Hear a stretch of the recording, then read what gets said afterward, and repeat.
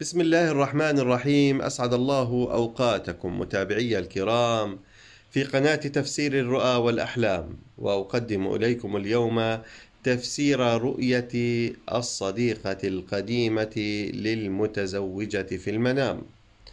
فإذا رأت السيدة المتزوجة الحبيب السابق في المنام فذلك يدل على التعرض للعديد من المشاحنات أو الخلافات فيما بينها وبين زوجها. وتعد هذه الرؤية واحدة من الرؤى السيئة والغير طيبة.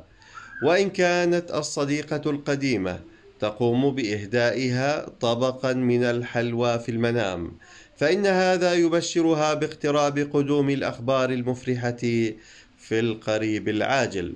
وإن كانت تشعر بالحزن وهي تحاور صديقتها القديمة فإن هذا يشير إلى ضرورة أخذ الحيطة والحذر من بعض المقربين منها والذين يحيطون بها. وإن كانت تتشاجر مع الصديقة القديمة في المنام فإن ذلك يشير إلى مرورها بالعديد من العقبات أو الأزمات في حياتها.